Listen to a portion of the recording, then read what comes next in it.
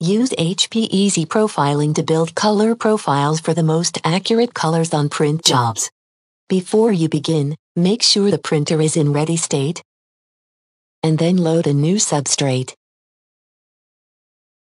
When loading a new substrate, select the most similar substrate for the job, or select none of these if no substrates are close to the substrate loaded in the printer, and then touch Continue.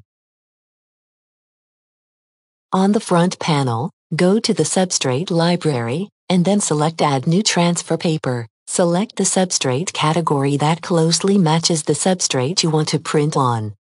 The new preset is based on a generic substrate.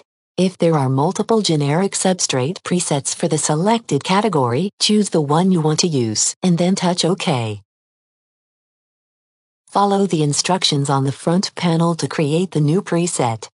Adjust the number of passes, and then touch Print Test.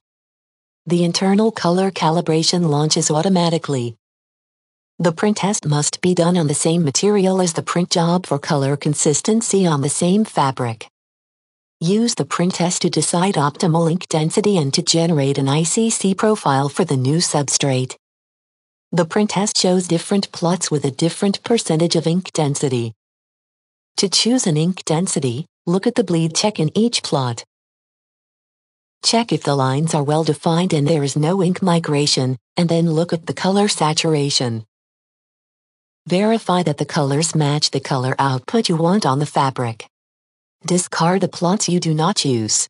On the front panel, select the desired ink density. Enter names for the transfer paper and the fabric, and then touch Continue.